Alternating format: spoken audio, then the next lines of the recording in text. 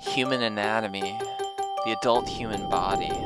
There are 206 bones. That's the same as the area code for Seattle. 206.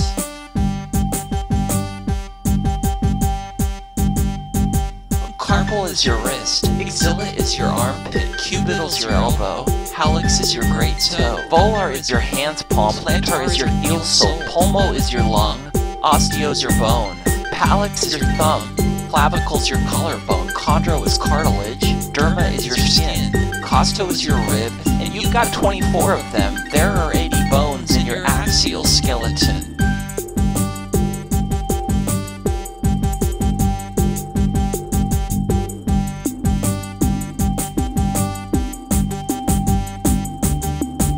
Patella is your knee bone, tarsal is your ankle, vaso means vessel, myo means muscle, pelvis is sacral, cervical is neck bone, coccyx is your tailbone if humans ever had them. Reno's nose city is the proper term for kidney.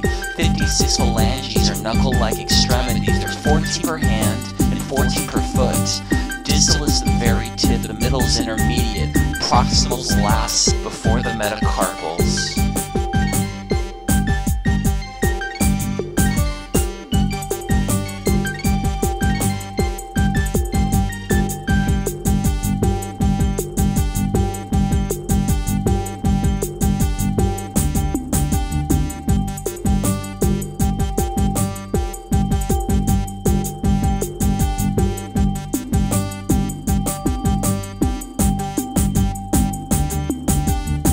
Is the back of neck, your thyroid cartilage, your clavicle and sternal head is stretched near your hyoid. Your hyoid bone supports your throat beneath your mylohyoitis. There lies your esophagus,